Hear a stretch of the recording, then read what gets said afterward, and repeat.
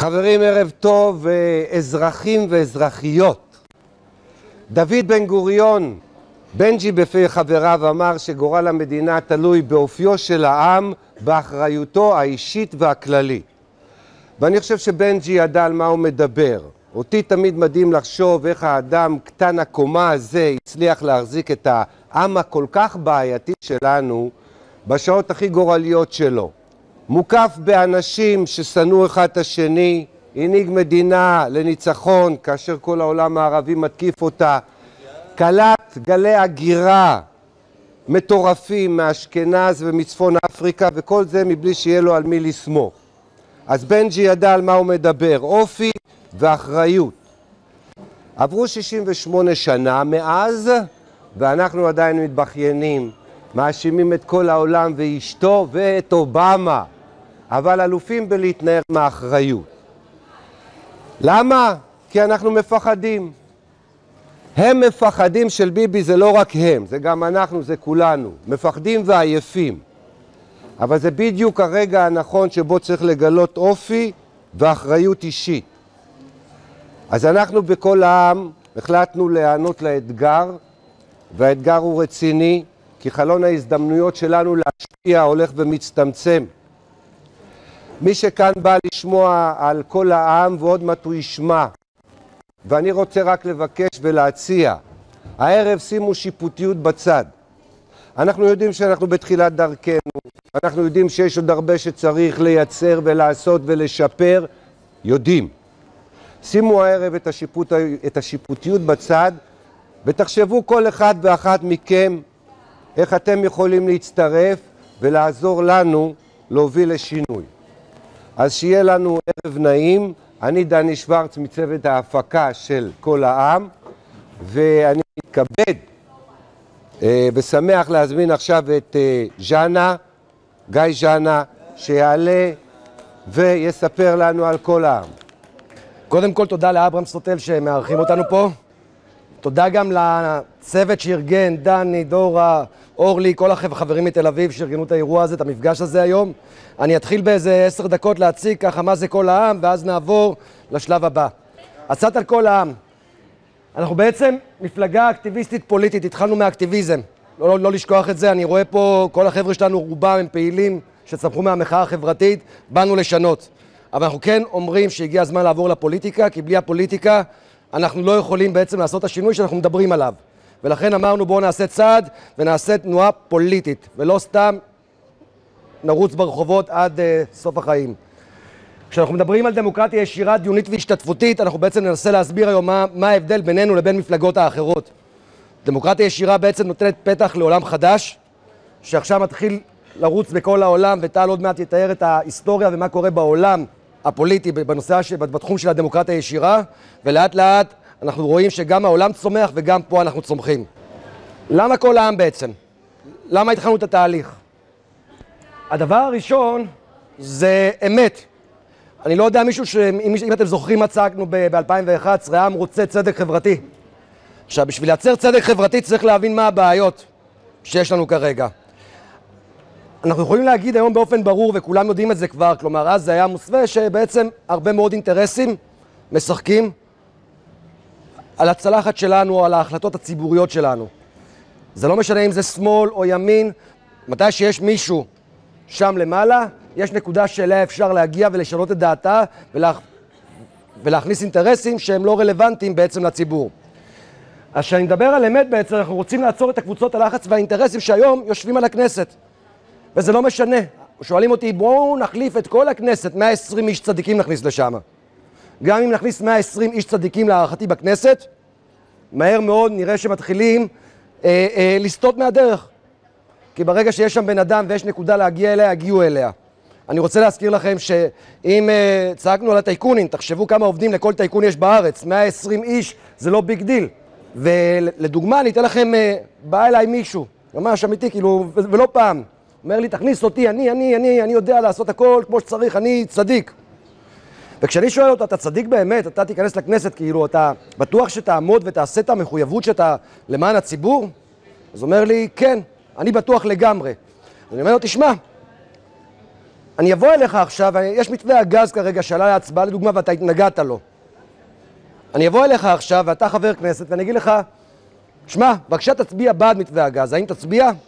אומר לי, לא, מה פתאום? מיליון דולר? לא, מה פתאום? שתי מיליון דולר? לא, מה פתאום? ואם אני אגיד לך שאבא שלך עשה איזה פשע ואני אכניס אותו לכלא? ואם אני אגיד לך שאני יכול אה, לגרום לזה שיצא לך משהו מהעבר וללחוץ עליך באינסוף דרכים? עכשיו, בשביל זה אני אומר, אמת וצדק הם לא נמדדים ברמה של אני בן אדם צדיק, כל בן אדם צדיק אפשר ללחוץ, וזו עובדה קיימת כי זה קורה כל יום בכנסת. אז דבר ראשון שאנחנו רוצים לעצור, לעשות זה לעצור את האינטרסים ולהגדיר שהאינטרסים של העם בעצם זה האינטרסים שיניעו את המדינה. הדבר השני זה אחדות. אה, אני מניח שכולם פה רואים טלוויזיה, ויש הרבה שכבר הפסיקו לראות חדשות, ולמה? כי השיח הפוליטי שלנו בארץ הפך להיות שיח רע. זה נבלה, זה חרא, השמאל ככה, הימין ככה, תעשה לזה ככה, תעשה לזה ככה. השיח הזה של, השיח הזה, אני קורא השיח של ההפרד ומשול בעצם, אם תחשבו על השיח של ההפרד ומשול, מטרתו הוא לא לדון בנושאים שאנחנו צריכים לעשות, לא לדון באמת בפתרונות שאנחנו צריכים להניע בכנסת, אלא זה להסיט את הדעה. ואם אנחנו רוצים ליצור עולם חדש, או רוצים ליצור דיון על נושא מסוים, אנחנו צריכים גם לשנות את השיח שלנו ברמת השיח. בתפיסה של דמוקרטיה השתתפותית אנחנו לומדים איך בעצם לייצר שיח חדש שיאפשר קבלת החלטות הרבה יותר טובה לאחוז יותר גדול מהאוכלוסייה. אחריות. הגיע הזמן שהעם ייקח אחריות. העם בורח עכשיו מאחריות כי הוא שונא את מה שקורה שם. אני, הרבה אנשים טובים שאני פונה אליהם, אני אומר להם, למה אתם לא רצים לכנסת? אנשים שבאמת יכולים לעשות שינוי. הם אומרים, מה, עזוב אותך, זה מגעיל שם. מה יש לנו לעשות שם במקום הזה? ואנשים לא לוקחים אחריות, ובעצם לא לוקחים אחריות מכיוון שהשיטה זורקת אותם החוצה. הדרך הפוליטית מוציאה אנשים טובים החוצה שלא ייכנסו לשם. ואם אנחנו רוצים בעצם לעשות משהו, אנחנו צריכים לקחת אחריות בעצמנו. דמוקרטיה השתתפותית מדברת על להשתתף. עכשיו, הדוגמה הכי פשוטה, כשאני מסתכל על פוליטיקה, כולם, כולם מסתכלים על המדינה בכלל. אני אומר, צאו רגע מהמדינה, המדינה עצמה זה כמו כפר קטן. אני ארד עוד יותר מזה למטה. המדינה זה כמו מאהל שאנחנו מקימים לסוף שבוע עם החבר'ה.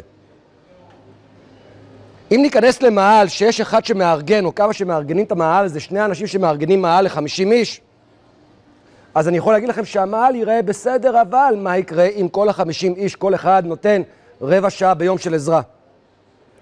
המאהל יהיה הרבה הרבה יותר מגניב, הרבה יותר מזמין, והחיים שלנו, אם זה מרמת האוכל שנאכל במאהל הזה, האנרגיה שתהיה לנו, כל הדברים בעצם יהיו הרבה יותר מגניבים. המאהל יהיה יותר כיפי.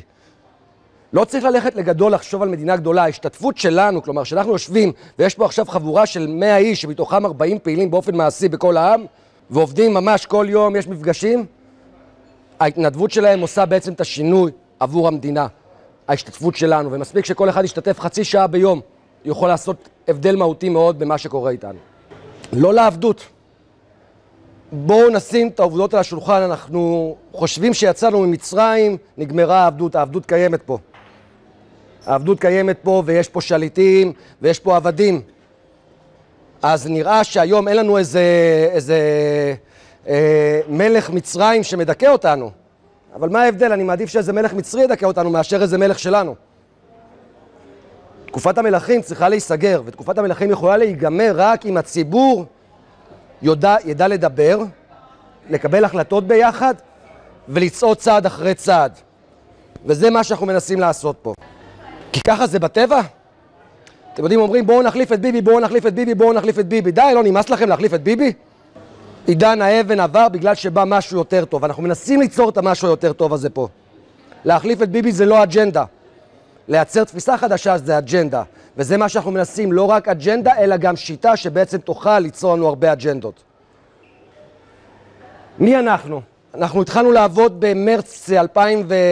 2015. מרץ 2015 היה הבחירות, נכון? האחרונות? כן. מרץ 2015, יום אחרי הבחירות, התכנסנו, התחלנו לעבוד חמישה אנשים. היום אנחנו כבר מאה ומשהו איש. פעילים, לא מדבר על חבר'ה שתומכים בנו, או מדברים עלינו, על פעילים שעובדים, מתוכם 30-40 פעילים באופן אה, די ניכר, ותשמעו, כאילו, יש פה איזה כמה שמגיע להם לדעתי, כאילו, עם השנתיים האלה של העבודה, מלא מחיאות כפיים, כאילו, לאנשים שעושים את העבודה מדי פעם, יום, יום-יום, כן?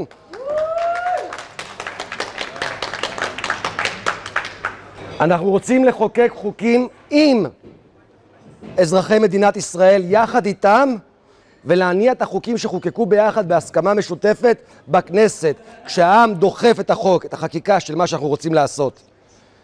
מבחינת שמאל-ימין שואלים אותנו, אתם שמאלנים ימנים. אנחנו לא שמאלנים, לא ימנים ולא מרכזיים, אלא ענייניים. הנושאים של שמאל-ימין יעלו להצבעה וההתפלגות של חברי הכנסת תהיה לפי הכל, כלומר, תהיה לפי מה שהאנשים. הצביעו ב... ב... במערכת שלנו, במערכות שלנו. המטרה היא בעצם להשאיר את הקול שלכם ולהוריד את השמאל והימין מהשולחן. נמאס לי לריב, אני שמאלני, אני ימני. זה סתם הפרד ומשול שלא משרת אף אחד. הקול של השמאל והימין שיישאר, תשמרו, כל אחד יקבל את ההצבעה שלו. אני רוצה להגיד לכם שאחרי שירד המריבה הזאת של מי שמאלני ומי ימני, גם תבינו שהאישו של שלום, לא שלום, זה פתרון כזה או אחר, זה בסופו של דבר פתרון. אם נפסיק להילחם מי שמאלני ומי ימני ונדבר על הפתרונות עצמם, גם נמצא את הפתרונות. ולזה אנחנו מייחלים. חזון התנועה, אנחנו רוצים לייסד תפיסה דמוקרטית חדשה, תפיסה כלכלית חדשה, תפיסה חברתית חדשה, וזה לא שאנחנו רוצים להגדיר את התפיסה, אנחנו רוצים לאפשר לציבור כמה שיותר רחב, שבעצם יכתוב איתנו את האג'נדה, יכתוב את ההבנה. אנחנו מפתחים כלים שבעצם מזמינים אתכם לבוא ולהגדיר מה אנחנו רוצים קדימה. מי שרוצה לגליזציה, שידבר על לגליזציה, מי שרוצה להחליף את, ה, את ה, מערכת הבריאות, שיביא שיטה חדשה למערכת הבריאות, או פתרונות שונים שיש בנושא האנרגיה, החקלאות, הדיור, התחבורה, אנחנו צריכים לבוא ולכתוב מה אנחנו רוצים, ועל זה להילחם. באנו לתרגם בעצם את המחאה החברתית, את כל מה שצעקנו צדק חברתי, לפרוט את זה לפרוטות, לדעת מה אנחנו רוצים לעשות ולעשות את זה. ומי שיגיד לנו מה לעשות זה בעצם הציבור. אתם או בעצם הציבור עצמו, יכתוב את האג'נדות שלנו. ויעלה להצבעה מה שיוסכם בהסכמה מלאה בעצם, זה מה שאנחנו נריץ בכנסת. וזה להבדיל ממה שמבטיחים לנו, כל אחד מבטיח לנו, לפני הבחירות, נכנסים לבחירות, מישהו חייב לכם משהו? אני יכול להזכיר פה אין סוף מקרים שחברי כנסת, כולל כחלון, לפיד, ואין סוף אנשים שנכנסו לכנסת ואמרו את זה נעשה, שבוע אחרי זה כבר התחרטו. מקרה כחלון והגז, לפיד ואין סוף ההבטחות שלו שבעצם הועברו. אנחנו אומרים, מה שאנחנו מבטיחים זה בעצם מה שאתם יוצרים, ואנחנו נצטרך לדווח לכם באופן שקוף על כל דבר ודבר ולראות שבעצם עמדנו בציפיות שלכם.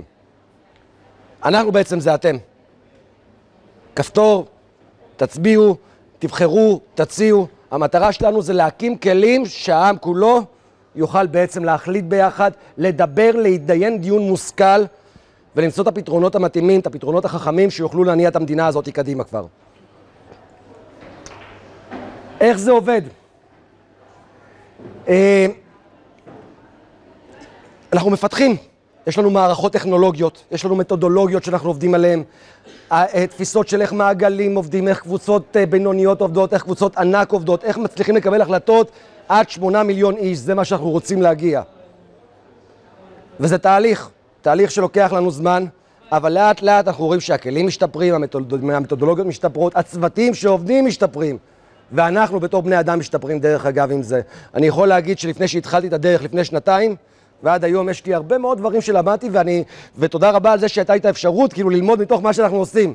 כל אחד מה, מהמרכזי צוותים, אני מסתכל גם אה, מהאנשים שעובדים פה בצוותים, אני רואה גם איזה, איזה התקדמות אנשים עברו פה, כי יש פה הרבה מאוד דברים מעניינים למידה, וסך הכל אנחנו קהילה שעושה ביחד. זה בעצם המבנה הארגוני שלנו. זה המבנה הארגוני שאמור להיות של כל העם, זה התוכנית הכללית שאותה אנחנו צריכים לבנות, אין לנו פה עדיין הכל. כל החלק המרכזי בעצם, אם אתם מסתכלים עליו, מועצת העם, זה מזכיר לכם משהו? משרדי הממשלה, אתם מכירים? זה בעצם הפרח הפנימי, שזה בעצם uh, הגופים והמועצות שאמורות לבוא ולחשוב המעגלים שאמורים לחשוב על מה לעשות בכל תחום ותחום, אנרגיה, חקלאות, דיור, תחבורה ומסביב. זה בעצם המרכז. שיש, שיש לנו מעגלים אזוריים שנוצרים, לדוגמה פה זה מעגל תל אביב, יש פה חבר'ה מתל אביב שארגנו, עוד מעט יש לנו אירוע בפרדס חנה, אירוע בעמק חפר, והאירועים האלה מתחילים לקרות לא בגלל שאנחנו יצרנו אותם, בגלל שהפעילים פה, החברים פה, יצרו אותם. כל אחד, כל אחד שנמצא פה יכול להרים אירוע ולספר לחברים שלו. Uh, היום, מה שאנחנו בעצם uh, מתרכז, מתרכזים בו זה, זה, זה המטה של המפלגה.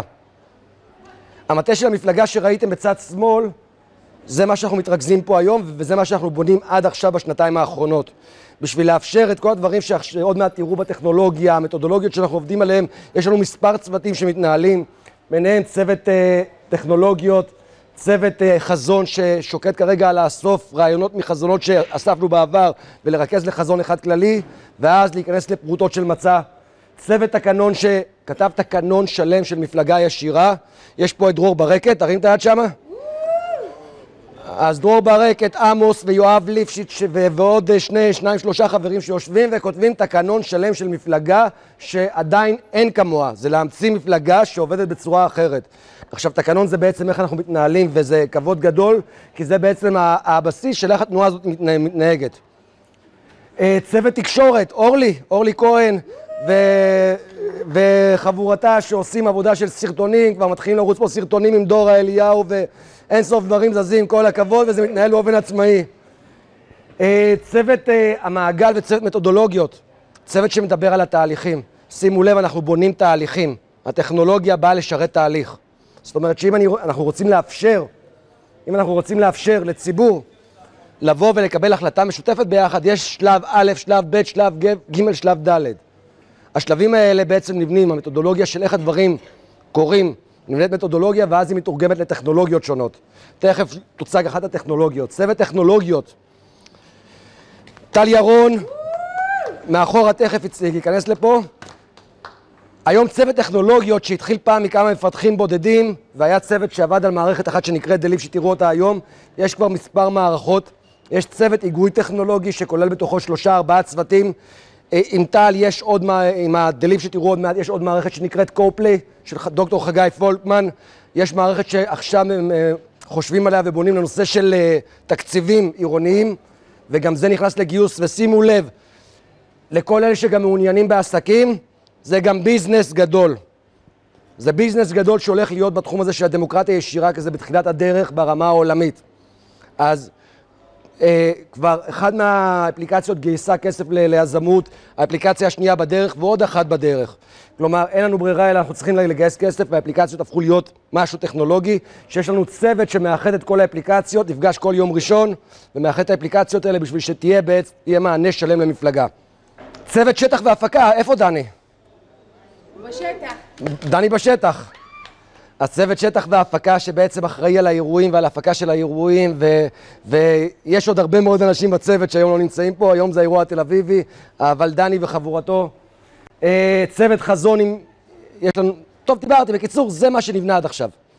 אני יכול להמשיך לדבר על זה הרבה מאוד זמן, וכמובן שמה שאנחנו רוצים לבנות זה את זה. כי כל התשתיות שאנחנו בונים אמורות להתכנס לכיוון המועצה, לתת למועצה ולגופים האזוריים אפשרות לבנות אג'נדה ביחד במשותף על הרשת בכל תחום ותחום ולהגדיר את זה בתור האג'נדה של המפלגה, המצע המפלגתי שאותו נריץ בעצם.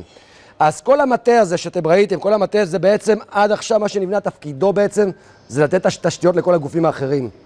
ואנחנו מחכים לגופים האחרים שייבנו עוד מעט, יתחילו להיבנות הגופים האלה. ומה שאני אומר, הגיע הזמן לשינוי. להחליט על דמוקרטיה אמיתית, ואני רוצה להזמין אה, תכף את טל, שיציג את הטכנולוגיות, והבחירה של דמוקרטיה אמיתית או להישאר עם מה שקורה עכשיו, זה בחירה של העם. אני יכול להגיד שביומיים שלושה האחרונים התעצבנתי לראות על חברים שאומרים, הנה, יש את הליכודניקים החדשים, בואו נרוץ, נתפקד לליכודניקים החדשים, נכבוש את הליכוד. או מצד שני, אבי גבא הגיע לעבודה, הנה הגיע משיח חדש לעבודה, אולי זה יציל אותה, בואו נקפוץ לעבודה. הדינוזאורים הישנים, כמו שאני מסתכל עליהם, אם תיכנסו, אי אפשר באמת לשנות אותם, הרבה ניסו לשנות אותם.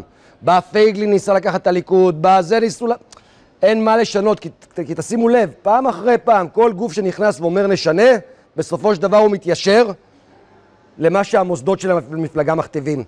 כל מפלגה כזאת יש לה גיבנת ענקית על הגב, אם זה מי שמחזיק בה בנושא הכספי, אם זה מי שמחזיק בה בנושא של הוועד המנהל בפנים וכל המחריאדה שיש במפלגות האלה.